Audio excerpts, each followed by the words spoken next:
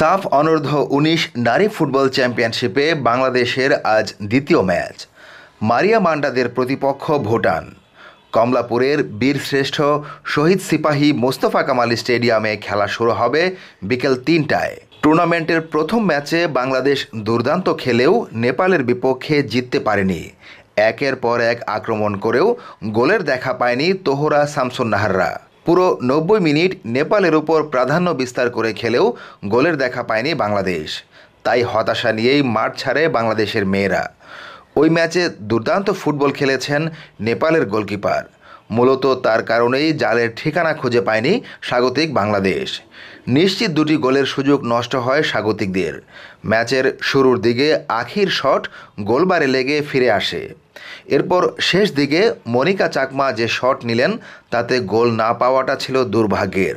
নেপালের গোলকিপার বিশ্বমানের এক সেভ করে দলকে বিপদ থেকে বাঁচান। ম্যাচ শেষে বাংলাদেশ দলের হেড কোচ গুলাম রব্বানি ছোটন জানিয়েছিলেন, ভাগ্য সহায় না হওয়ায় তার দল জয় পায়নি।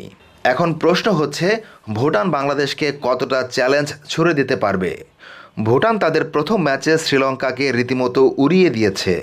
পাঁচ শূন্য গোলের বিশাল ব্যবধানে জয় পেয়েছে ভুটান। তাই মানসিক দিক দিয়ে বেশ চাঙ্গা আছে ভুটানের মেয়েরা। ওই পাঁচ গোলের মধ্যে একটি অবশ্য ছিল আত্মঘাতী। ভুটানের বাকি চার গোলের দুটি করেছিলেন পেমা। তবে বাংলাদেশ প্রথম ম্যাচে যে ফুটবল খেলেছে, তাতে জয় না পেলেও মারিয়া মান্ডারাও দারুণ আত্মবিশ্বাসী। ভুটানকে হারিয়েই পয়েন্ট টেবিলের শীর্ষে যেতে চায় বাংলাদেশ। পাঁচ দলের এই টুর্নামেন্টে লিগ ভিত্তিতে খেলা হচ্ছে।